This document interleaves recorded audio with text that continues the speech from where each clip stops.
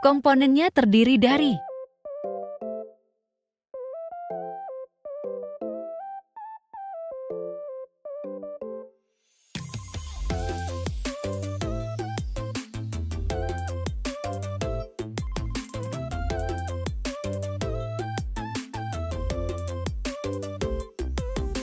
Yuk kita mulai.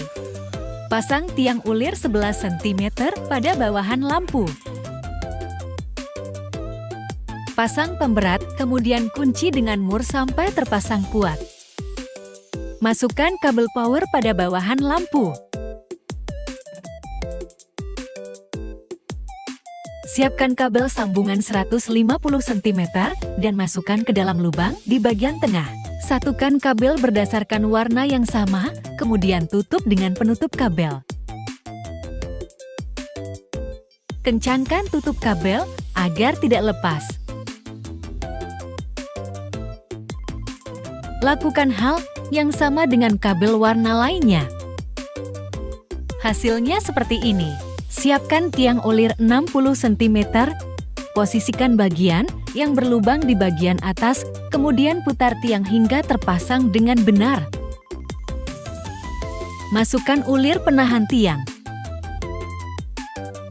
Siapkan tiang besi 70 cm dan masukkan ke dalam tiang 60 cm.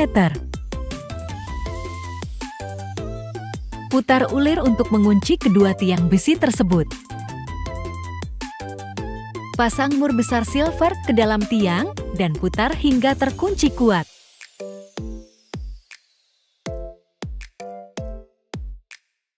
Siapkan besi segitiga dan pasang pada kerucut penyangga kristal. Kunci dengan baut pada setiap sisinya.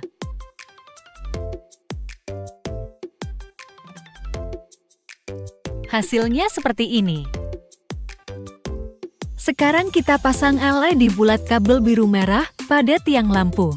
Pasang juga kerucut penyangga kristal hingga menjadi seperti ini. Kemudian siapkan mur besar silver dan pasang untuk mengunci kerucut pada tiang.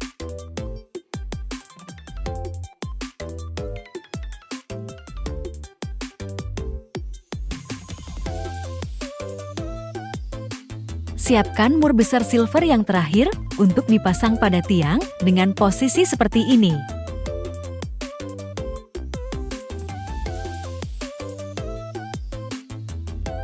Setelah semua terpasang dengan benar, pasang tiang besi 15 cm. Pasang LED di bulat kabel kuning dan dudukan kristal bagian atas, lalu kencangkan dengan mur plastik. Sekarang kita sambungkan kabelnya. Kabel merah dan biru. Kabel kuning. Sambungkan kabel merah dengan satu kabel kuning, tutup. Begitu juga dengan kabel biru, maka hasilnya akan seperti ini. Sudah selesai, langkah terakhir pasangkan kristal dan pengait kristal pada setiap lubang yang tersedia pada kerucut penyangga.